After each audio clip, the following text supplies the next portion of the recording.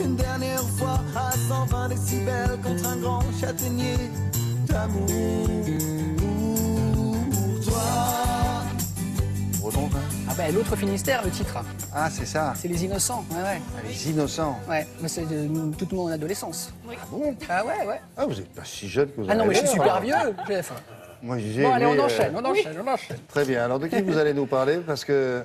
Prix Goncourt 1985 pour Oui. Les Noces Barbares, Monsieur Yann Kefelec, qui publie William. Alors, j'ai jamais vu ça de ma vie. Il y a trois éditeurs sur ce livre, quand c'est une star. Édité chez Plomb et Grunt et Fayard. Il y a trois éditeurs sur ce bouquin. C'est dingue, hein mais en même temps, quand on est euh, prix Goncourt, euh, c'est la star Mhm. quand même.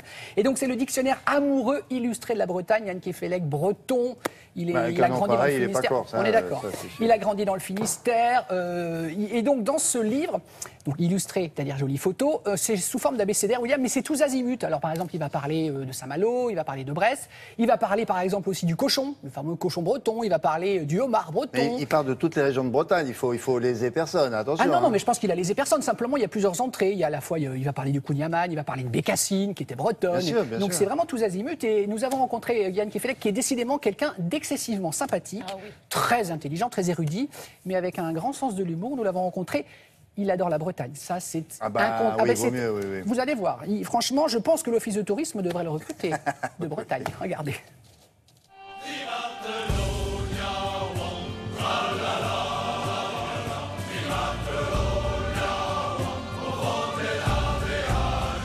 Bonjour Yann Kefelec. Bonjour. Si vous deviez qualifier par quelques adjectifs cette Bretagne que vous aimez tant, vous me diriez quoi? Elle est franche, elle est secrète, elle est mélancolique, elle est joyeuse en même temps. J'aime bien la phrase d'Anatole Lebras qui parle de ce peuple que le bonheur rend triste, mais inversement, c'est le peuple que la tristesse rend joyeux. Dans votre livre A comme Aber, je suis pas sûr que tout le monde sache ce qu'est un Aber. Et c'est votre enfance.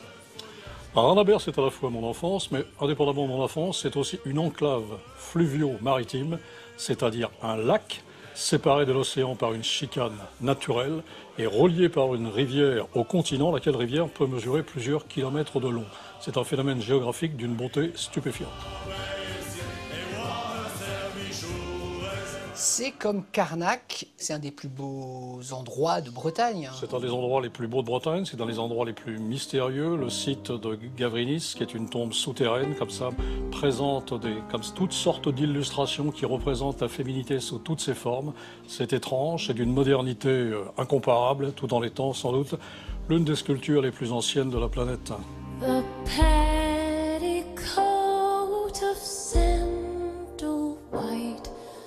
with gold embroidered gorgeously. P comme phare, Yann, on sent dans votre livre que vous déplorez la disparition des gardiens de phare. Il n'y en a plus maintenant. Je déplore et la disparition des gardiens de phare et la disparition des phares. Le gardien de phare, c'était aussi le gardien de la mer, c'était le gardien de la sécurité des marins. En plus, les phares français sont en train de se délabrer. C'est absolument honteux de laisser des- de tels chefs-d'œuvre d'architecture comme ça repartir doucement à la mer sans faire quoi que ce soit pour les sauvegarder.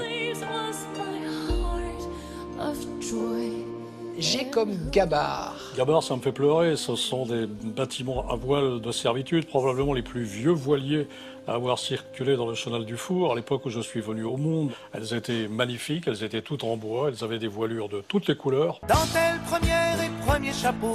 C'est pas toi qui es, c'est pas toi qui es beau.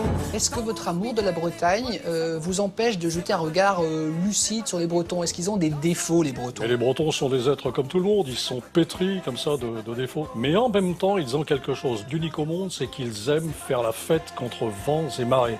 Quand ça va mal chez les Bretons, ça ne va pas si mal que ça, et le Breton est prêt à se mettre à danser et à chanter.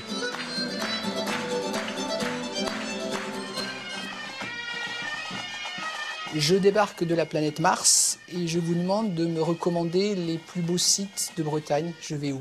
Il est difficile de poser ses yeux sur un paysage du littoral breton sans avoir l'impression que c'est le plus beau de toute la Bretagne. La Bretagne des îles, c'est absolument stupéfiant de beauté.